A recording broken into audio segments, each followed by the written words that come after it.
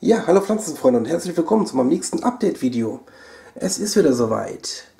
Fangen wir direkt mal hier an hier vorne bei meinem Balkonkasten oder beziehungsweise bei meinen zwei Balkonkästen natürlich. Hier am Anfang seht ihr ja wieder die Petersilie. Da habe ich jetzt einiges rausgerupft. Ich hoffe mal, die letzten werden jetzt was. Ich lasse die einfach mal stehen, um zu gucken, ob die sich noch ähm, ein bisschen erholen und ein bisschen größer werden. Dem einen oder anderen wird auch schon auffallen, ich habe jetzt hier die ganzen Balkonkästen, die zwei mit Wassersystemen verbunden. Geht dann hier oben rein. Und da oben haben wir dann letztendlich das Wasser drin. Und ich sehe gerade schon, dass ich da wieder eine Wasser nachfüllen muss. Die haben ordentlich gesoffen hier, wie es aussieht. Direkt daneben habe ich den Pflücksalat, die restlichen rausgezupft. Ich habe jetzt nochmal neuen reingesät, ein bisschen tiefer gesetzt und ähm, dass die stabiler werden weil die doch relativ schnell immer umgeknickt sind. Dann hier auch nochmal neue Radieschen reingemacht. Die anderen sind irgendwie nichts mehr geworden. Also ihr seht schon, alles frisch gesät. Auch wie jetzt vorne die Lauchzwiebel frisch gesät. Um einiges tiefer gesetzt. Oben die Erde schon drüber angedrückt und gegossen. Und jetzt hoffe ich mal, dass es dann, ich, dass ich jetzt alles richtig gemacht habe und dass die jetzt besser wachsen und stabiler werden. Ja, bei der Mohrrüben, die lasse ich jetzt erstmal so drin, wie sie sind. Habe auch einige ausgezupft, die schwächeren. Warte noch ein bisschen ab. Wenn das nichts wird, rupfe ich sie raus. Und dann mache ich es ähnlich wie bei der Lauchzwiebel. Schön tief sitzen und dann oben Erde drüber und dann gucken, ob die dann auch stabiler wachsen.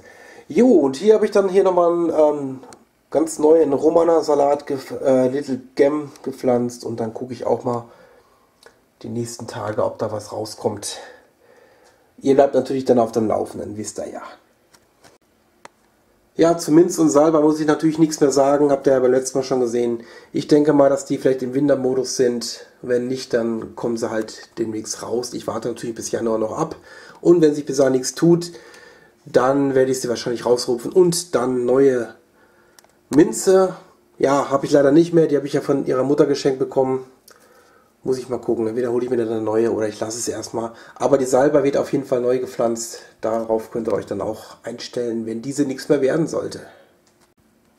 Tomate sieht soweit immer noch richtig gut aus. Hier oben hängt noch eine neue dran wieder.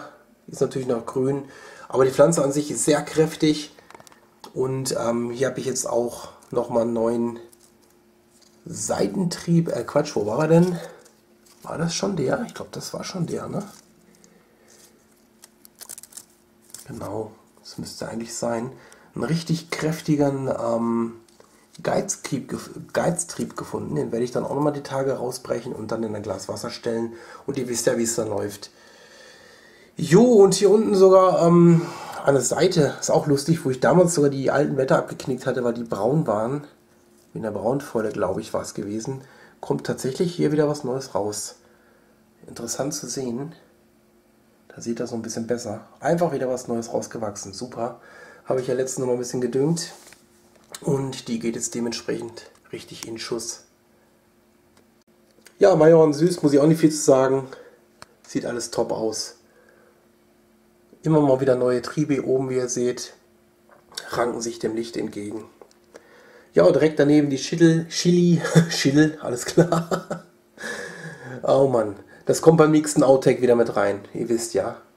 Chili, Little Elf hat oben noch ein gelbes Blatt. Ich habe jetzt die anderen Blätter alle runtergerufen, die gelb waren, in der Hoffnung, dass jetzt hier vielleicht sich die Pflanze wieder ein bisschen erholt. Die hatte ja anscheinend irgendeinen Eisenmangel wahrscheinlich oder einen Nährstoffmangel. Deswegen habe ich die auch nochmal ordentlich gedüngt. Und ich warte mal ab. Und ja, einfach mal gucken, wie sich das weiterhin entwickelt. Und wer sich denkt, was steht da jetzt für eine Pulle dahinter, was für eine Flasche. Das ist eine schöne kleine Fliegenfalle, habe ich mir gebaut. Beziehungsweise meine Freundin. Und können wir mal reingucken. Ich stelle das mal hier auf meinen Arbeitsplatz. Da sind dann schon ein paar drin. Und zwar sind das, sind das diese kleinen schwarzen Fliegen, die bei mir immer in der Erde drin waren. Da seht ihr sie. Und ja, die Fliegenfalle äh, funktioniert auf jeden Fall richtig gut werde ich hier weiterhin stehen lassen und gucken, ob dann auch letztendlich alle schwarzen Fliegen verschwinden. Damit habe ich den Ärger nicht mehr, dass die mir an die Wurzeln gehen und alles abfressen. Ja, was macht unser kleines Mini-Gewächshaus? Die Erdbeeren sind leider immer noch nicht rausgekommen. Ich glaube auch, dass die Saatgut vielleicht nicht ganz so gut war. Die scheinen alle irgendwie nicht so richtig aufzugehen. Aber jetzt schaut daneben mal. Ich muss mich berichtigen. Ich habe beim letzten Mal gesagt, das ist wahrscheinlich eine Tomate. Aber ihr seht, das sieht eigentlich mehr nach einer Paprika aus, würde ich sagen. Oder was meint ihr? Oder ist das eine Gurke? Ich weiß es jetzt immer noch nicht genau. Wahrscheinlich eine Paprika oder eine Gurke. Könnt ihr mal in die Kommentare schreiben, wenn ihr das erkennt was das jetzt genau sein könnte. Das war ja die besagte Pflanze aus dem Ausguss, die ich rausgefischt habe. Ja, was machen die zwei Geiztriebe von den Tomaten? Ja, tun sich ganz gut. Die dagegen ist sogar schon ein bisschen größer ge äh, geworden, wie ihr seht, und schön kräftig. Werde ich demnächst dann auch mal irgendwann umtopfen. Und dazu kommt natürlich dann auch der von eben gesehene neue Geiztrieb dazu, den ich dann noch rausschneiden werde. Wer sich denkt, Mensch, wo hat er denn einen Rettich hingetan? der schaue hier. Ich habe zwei 5 Liter Eimer genommen und habe jetzt hier den Rettich reingesetzt, schön tief in Erde, weil die ja ziemlich dick werden und nach unten wachsen und auch hier mit zwei Wassersystemen äh, Schläuchen verbunden und ja, sieht super aus, kriegt hier perfekt Licht an dem Fenster und einfach mal abwarten, wie sich das Ganze entwickelt. So, dann kommen wir jetzt zu der kleinen Überraschung. Es hat sich endlich was bei den Pilzen getan. Tada! Jetzt schaut es euch an.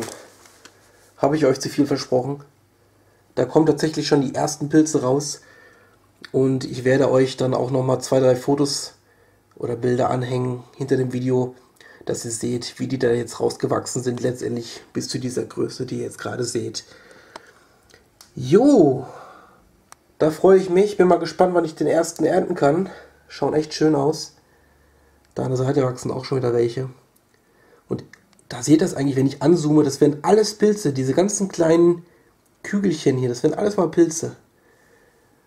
Also da kann ich wahrscheinlich richtig gut ernten demnächst. Ich bin mal echt gespannt. Ich mache natürlich dann dementsprechend auch ein Erntevideo und Verkoste, Verkostungsvideo wieder. Könnt ihr euch freuen. Also mein Abonal, mein, mein Abonal. Genau, heute ist wieder der Tag des Versprechens. Also meinen Kanal abonnieren, einen Daumen hoch da lassen, wenn ihr noch nicht habt. Und damit danke ich mich fürs Zuschauen. Heute wieder ein bisschen kürzer. Dann nochmal die Frage an euch, reicht euch das mit einem Video erstmal pro Woche oder wünscht ihr euch vielleicht doch wieder ein zweites dazu? Denn ich habe nicht immer ganz so viel zu zeigen. Wenn ich natürlich was habe, dann werde ich das natürlich dann immer rein verarbeiten in die Woche. Ansonsten halt immer die Update-Videos. Die kriegt ihr auf jeden Fall jede Woche, das verspreche ich euch. Da bleibe ich auch bei. Gut, dann bedanke ich mich fürs Zuschauen. Lasst einen Daumen hoch da, wie gesagt. Ein Abo, wenn ihr noch nicht habt.